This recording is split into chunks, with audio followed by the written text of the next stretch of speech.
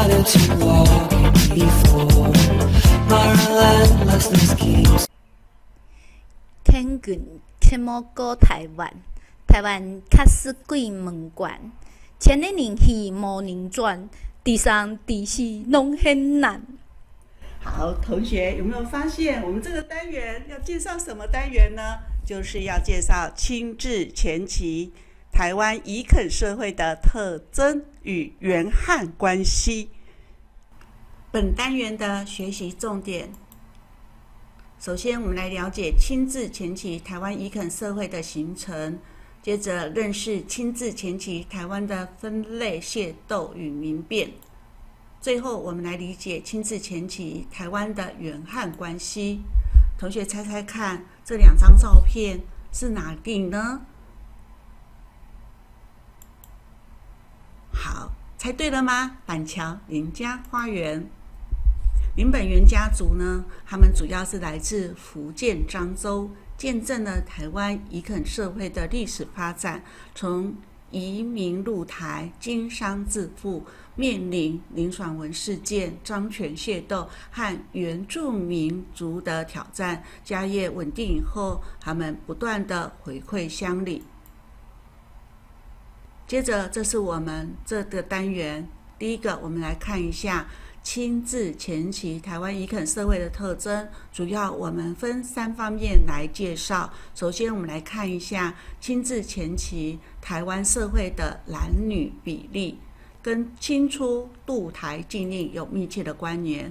清初渡台禁令中，只能单丁来台，无法取得官方许可证者，只好偷渡来台。台湾人口仍然迅速的成长，会造成男女失衡。乙垦社会里虽然充满了机会，也出现了男性居多的现象。男子结婚成家不容易呀。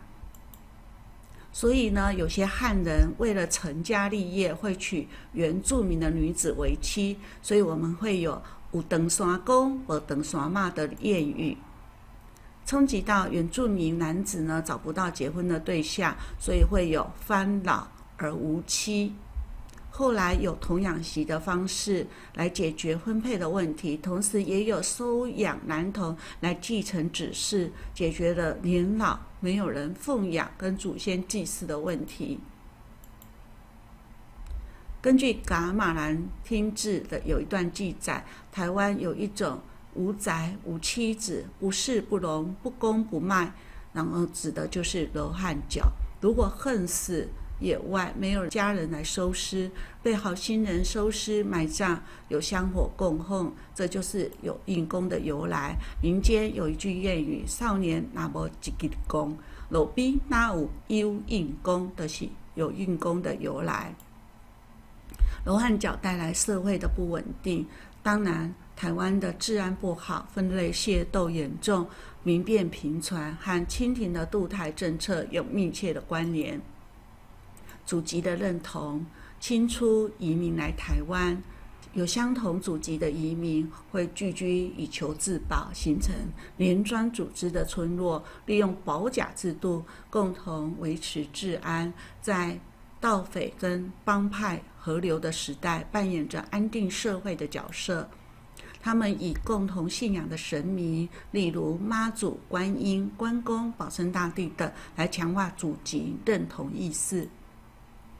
移垦社会中常常出现异世结盟，大多数移民是单身来台，虽然不是同一个宗族和祖籍，彼此互相帮助，是世疏若亲，穷乏贫苦相为周序。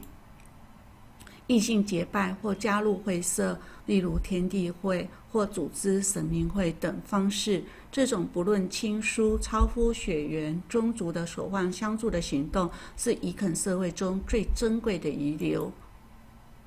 清治前期，台湾的分类械斗与民变。清初台湾的社会有三年一小病，五年一大病。所以呢，我们来看一下清初台湾为何会发生分类械斗，有哪些类别的械斗？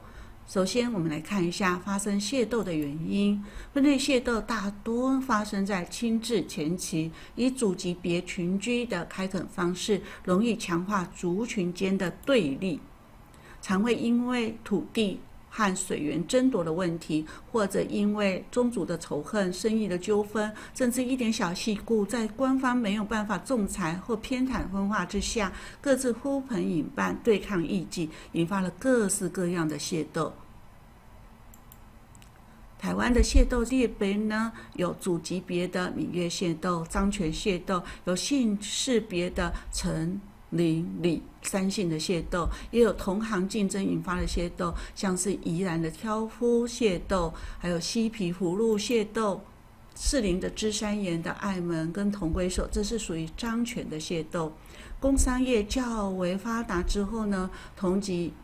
不同乡的械斗，像是咸丰三年发生在台北邦港地区，有来自泉州府的同安人跟三义人，因为商业竞争引发的顶下交拼。有谚语说：“咸丰三说到今，同安人带着守护神下海城隍。”退往大道城安身，今日大道城下海城隍庙的月下老人，就成就了许多的单身男女的姻缘了。分类械斗之风呢，直到开港通商以后，台湾环境改变，才慢慢的消失了。四林之山岩的爱门和同归所，同学可以看一下。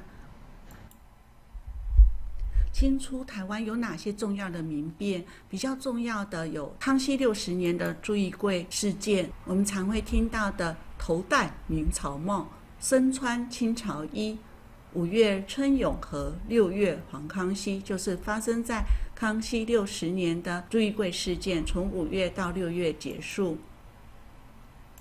朱义贵起义呢，是因为当时台湾的朱府王真过于暴虐。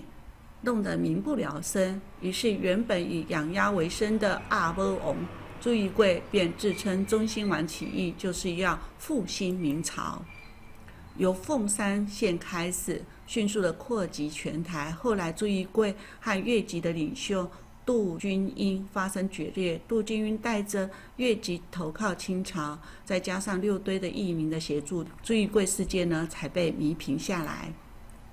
朱义贵事件以后，康熙皇帝重视到台湾的防务问题，再加上杜君英的越军后来投靠清朝的关系，也造成了后来的闽粤对立、义民的称呼、泛指协助清朝对抗起事者的族群。这是六堆的忠义词。至于林爽文叛变，林爽文事件爆发于。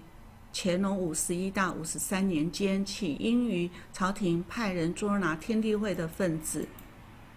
然后，漳州籍的林爽文在今天的台中、大理一带，受群众拥戴抗清，自称为顺天大盟主，几乎占领全台。清廷派胡康安围剿平息此事。台南的赤坎楼前面有一块碧玺碑碑文，记载的就是福康安平定林爽文事件的历程。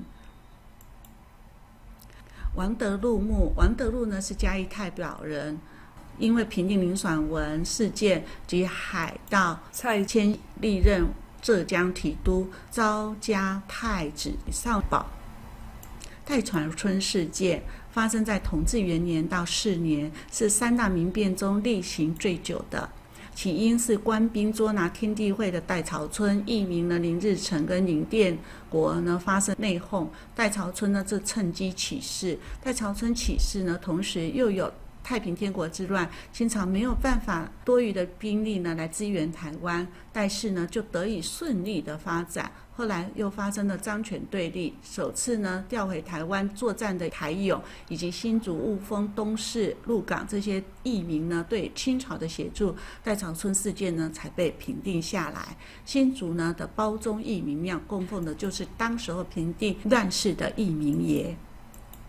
清治前期，台湾的原汉关系，原住民的土地为什么会流失？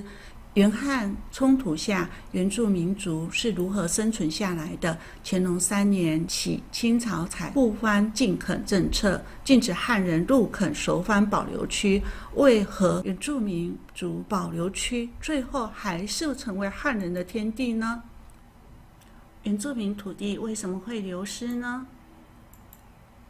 早期来台湾，汉人祖先居住地。多与平埔族混杂，因为他们地势高冷，背山临水，条件较好的地方原来是原住民族的。背后有山丘，台风来的时候有山可以挡，房子不会被吹倒。前面有河流，有州法之便。随着移垦的汉人越来越多，世居在此地的原住民族面临生存空间被侵夺的威胁。汉人拓垦的土地，除了向官府请垦之外，有翻产汉佃。清朝政府禁止汉人购买原住民族的土地，并不禁止原住民招来汉人来耕作。坐收大租就是翻大租，这就是土地租佃关系。翻产汉佃，如果汉人佃农呢拖欠缴翻大租，或者翻业户呢以土地抵押给汉人。向他们借钱，结果往往土地就沦落汉人的手上了。汉人的巧取豪夺，清初封山禁绝的隔离政策下，还是难挡汉人越界私垦。作为原汉中介的汉人通事，往往利用职权取得广泛的原住民的土地，比如说。台中按理社的通事张达金当了四十二年的通事，田产散布整个中部地区，原住民族的生存空间不断被压缩，彼此冲突也就越来越严重，不时呢激起了翻变、翻害，还有翻乱的流血事件，加深彼此之间的对立。原住民呢也会接受。汉人的文化，原汉冲突较为激烈，主要是在十九世纪中叶以前，清初的渡台禁令，汉人娶了原住民的女子，平埔族呢慢慢的接受汉人的文化，还有密地他迁，许多族群密地他迁，若干平埔族村社往内山或后山慢慢的迁移，连带着。番界不断的往东移动，例如宜兰的噶玛兰族就往花莲一带移动。蜻蜓呢设爱繁番，就是沿着番界设爱寮。金管福大爱就是这是金管福大爱，是政府鼓励而成立的民间垦爱组织。试图往深山开垦，就曾在新竹一带和泰雅族发生冲突。当我们在缅怀汉人拓荒的艰辛时，也许需要重新思考土地开发与族群问题。最后是我们的结语。首先，我们来看清治前期台湾移垦社会，虽然充满生存致富的机会，也要面对远汉冲突和民变械斗的危险。缅怀汉人拓垦艰辛的时候，也需要思考原汉族群的关系。亲自前期渡台禁令之下，大多移民单身来台，异性结盟，或者是奉祀神明，凝聚彼此的向心力，守望相助的精神，成为移垦社会中很珍贵的情谊。板桥林家走过了台湾移垦社会的历史，艰苦。奋斗、屹立不摇的精神，功成名就之后呢，积极投入回馈社会，只为楷模。这是我们这个单元后面我们还有题目给同学练习，同学要加油啊，试试看，加油。We don't talk